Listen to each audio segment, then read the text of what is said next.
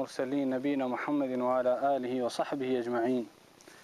Falënderimet dhe lëvdatat janë për Allahun xhelle shanuhu, lutjet dhe përshëndetjet tona janë për profetin Muhammedin sallallahu alaihi wasallam, për familjen e tij, për shokët e tij dhe për gjithë besimtarët muslimanë kudo që ndodhen dhe që e pasojnë rrugën e tij deri në ditën e gjykimit. Duke përforcuar dhe mbështetur temën të cilën foli vllai jonë pak më parë. Është pyetur Hasan el Basriu dhe transmetohet edhe si thënie nga Ibn Omer radiallahu ta'ala anhu që pse ne shpeshherë E ndjejmë në vetvete një lloj dashurie të veçantë apo më të madhe për vëllezërit se sa për anëtarët e familjes.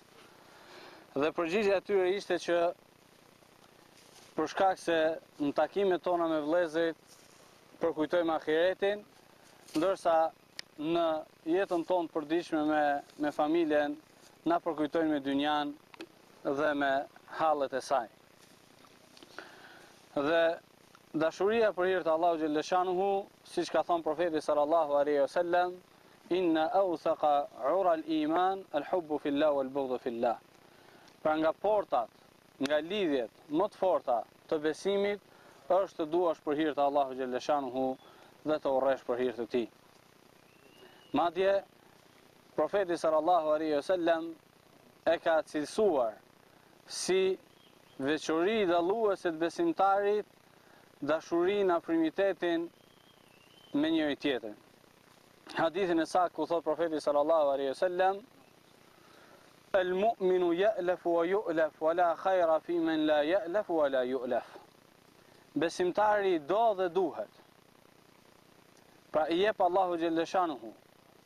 afrimitet edhe pranim në mesin e besimtarëve, në mesin e atyre që e kanë zemrën e pastër dhe logjikën e shëndoshë.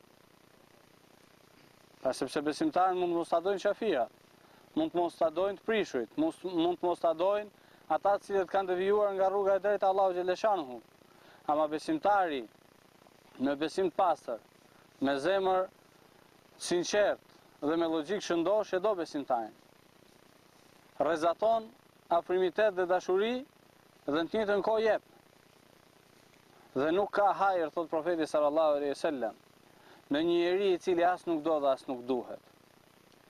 Në atë person i cili i hedh poshtë të gjithë dhe askush nuk i afrohet. Pra nëse dikush do të testojë besimin e tij, le ta ballafaqojë me hadithet e profetit sallallahu alaihi wasallam. Thotë në hadith tjetër i dërguari i Allahut sallallahu alaihi wasallam, A t'ju tregoj se kush e ka të ndaluar zjarrin e xhehenemit? E ka të ndaluar çdo njeri i cili është i afërt, i lehtë, i butë. Ndërsa zjarri thotë profeti sallallahu alaihi wasallam është për çdo njeri i cili është i vrazhdë, i ashpër, pra dhe arrogant. Pra sepse këto janë të kundërtat e zemrave të cilat burojnë nga besimi apo burojnë nga shthurja dhe nga prishja që ekziston në kategorinë e kundërt. Dhe për ta plotësuar temën e cila u fol, dikush me të drejtë mund të pyesë se cilat janë ato shkaqe, të cilat e ndihmojnë besimtarin që t'i shtohet dashuria pra me vëllezërit e tij, me anëtarët e bashkësisë islame, me ata njerëz të cilat i bashkon pra besimi në Allahun xheleshanu i bashkon besimi në profetin, librin dhe në parimet të cilat Allahu xheleshanu ka ligjëruar. Dhe para se të flasim për përhapjen e selamit, apo për dhuratën, apo për diçka tjetër, Padyshim, kushti i parë dhe elementi kryesor, e cila e bën besimtarin që të jetë i afërt, i dashur, i pranuar, bashkëpunues me vëllanë e tij besimtar, padyshim që është besimi dhe vepra e mirë. Nëpërmjet besimit dhe veprës së mirë, i jepet njeriut pranimi në mesin e të tjerëve.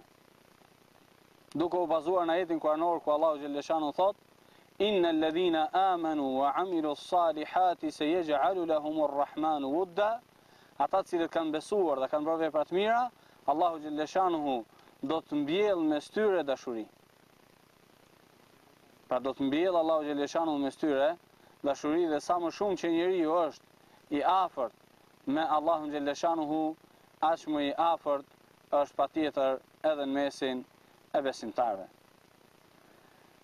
Një nga shkaqet të cilat e bëjnë besimtarin që të jetë i afërt me besimtarin është ajo që ka përmendur profeti sallallahu aleyhi sallam në hadithin e saktësuar nga Shejh Albani ku thotë La jezalun nasu bi khajrin ma lem jetehasedu njerëzit do vazhdojnë të jenë në mirësi për sa kohë që mes tyre nuk futet zilia Për sa kohë që njeriu nuk pra nuk ka smirë dhe për, për sa kohë që njeriu nuk ka zili ndaj mirësive që Allahu xheleshanu i ka dhënë vëllait të tij besimtar, qofshin ato në bukuri, në tregti, në pasuri, në dituri apo në çfarëdo lloj fushe tjetër, në të cilën mund të lindë zilia dhe e cila pastaj shkakton konflikte që shfaqen në forma nga më të ndryshmet.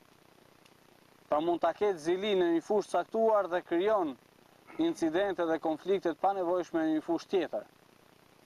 Në mënyrë të atillë që të kamuflojë veten e tij dhe të kamuflojë atë problemin e vërtetë. Prandaj njeriu ka nevojë që të jetë i kënaqur me caktimin e Allahu xhelleshanuhu, të garojë në shkaqe të cilat e çojnë drejt mirës dhe të jetë i kënaqur dhe të jetë i lumtur që vëllai i tij të jetë mirë, që vëllai i tij të ketë mirësi. Thot Allahu xhele shanuhu, em jahsudunen-nasa ala ma atahum Allahu min fadli. Vallë mos, pse i kanë zili, thot Allahu xhele shanuhu, njerëzit, për atë që Allahu xhele shanuhu ua ka dhënë nga mirësia e tij. Por në fund fundit edhe ai është krijesë si ti,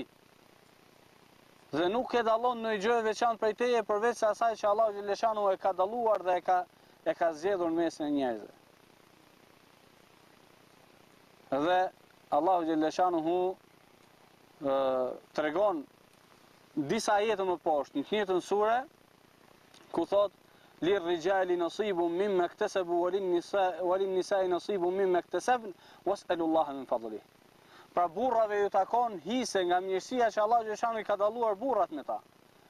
Edhe grave u takojnë hise nga ato veçori që Allahu xhele shanuhu u ka dhënë grave. Zgjidhja nuk është që të kenë zili mes tyre. Pra duke e lidh me fillimin e faqes, me ajetin që thamë më herët. Po cila është zgjidhja? Was'elullaha min fadlihi. Atij Zoti të plotpushtetshëm që i ka depot të pambarim, që i dha atij, atij kërkoji të të jap edhe ty. Kërkojini Allahut xhele shanuhu nga mirësitë e tij. Pra jo të kesh zili e cila më e pakta çon në ftohje të zemrave dhe në prishje të marrëdhënieve dhe pastaj mund shfaqet edhe në forma të tjera, pra të ndryshme. Prej shkaqeve të rëndësishme të cilat ndoshta janë edhe nga gjërat e para që humbasin atëherë kur fillojnë pra konfliktet mes vëllezërve dhe pakënaqësitë, është pra çështja e selamit. Thot profeti sallallahu alaihi wasallam, a t'ju tregoj për diçka të cilën nëse e veproni ju do të duheni mes jush, përhapeni, përhapeni selamin. Sepse në momentin që ti i jep selam vllajt ton musliman, Qoftë në ardhje, qoftë në ikje, siç ka thënë profeti sallallahu alejhi wasallam, nuk është selami i parë më i meritueshëm se i dyti, edhe këtë gabim e bëjmë shpeshherë. Që kur vim japim selam, kur ikim nuk japim selam. Profeti sallallahu alejhi wasallam thotë nuk është ardhja më pak e rëndësishme se sa ikja. Ti kur vjen i deklaron vllajt tënd paqe, siguri, garanci. Prej meje nuk do dëmtohesh dhe as nuk do lëndohesh, me dorë apo me gjuhë. Edhe në ikje po ashtu. Pra sepse ka njerëz të cilët ndoshta janë të zot që në aspektin sipërfaqësor formal sillen mirë. Ama në momentin e parë që të jepet një lloj hapësire, nga mbrapa të godet. Edhe kur largohesh ti jep selam dhe i jep të njëjtën garanci, që rri i qetë prej meje, prej gjuhës dhe prej dorës time, se nuk do të kesh të keqe. gjithmonë kur ky selam jepet, pra me çiltërsi dhe me pastërti. Ndaj dhe përhapja e selamit mes besimtarëve është e rëndësishme. Shkak tjetër që ka përmendur profeti sallallahu alejhi ve sellem është në hadithin hasen ku thotë tahadu tahabu. I bëni dhurata mes jush në mënyrë të atillë që të duheni. Pra një nga shkaqet me cilat zbuten zemrat, largohen pakënaqësitë, zhduken keqkuptimet është edhe dhurata.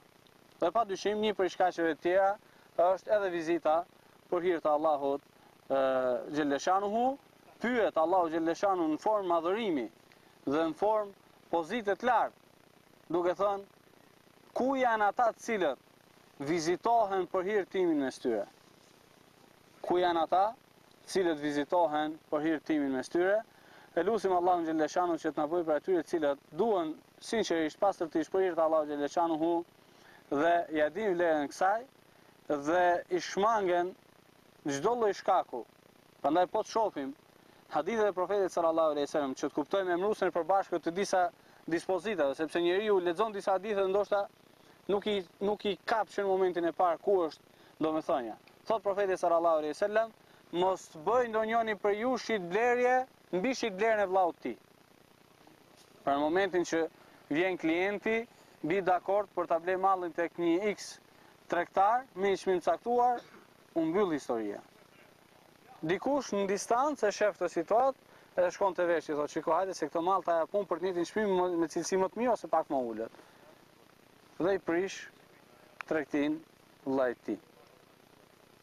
Fund fundit, çështje dynjaje për një sasi të vogël. Në qoftë se vjen deri në këtë pikë, nuk i lejohet këtij personit të palës së tretë që të ndërhyjë. Qëllimi ku është? Ky lloj veprimi detyrimisht shkakton çfarë, pakënaqësi dhe shkakton një ftohje me personin i cili në fund fundit është vëllai yt musliman.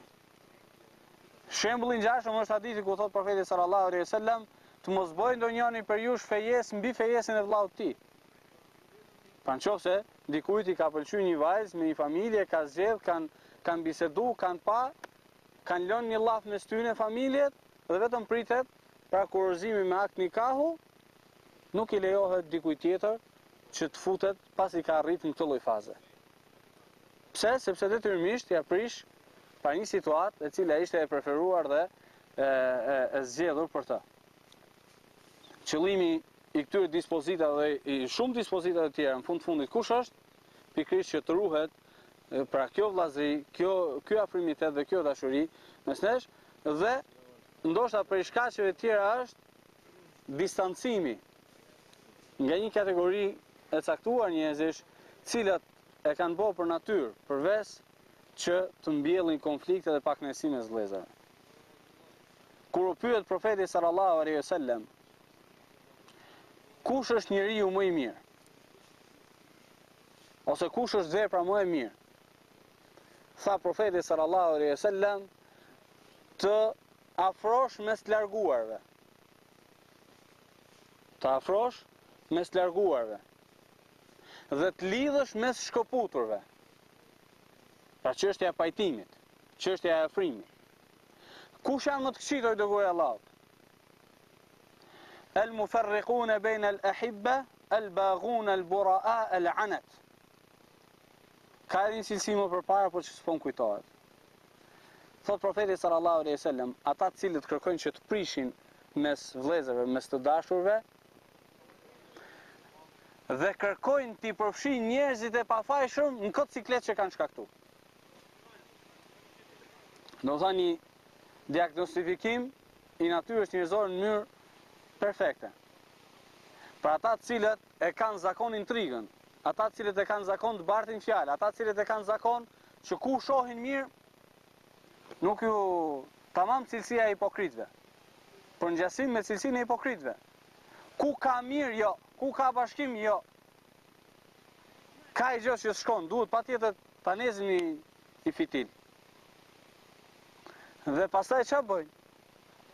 El bagun, el bura, el anet. Edhe ata të cilët janë të pafajshëm që S'i kuptojnë intrigat djallëzitë s'kanë lidhje fare me këtë çështje.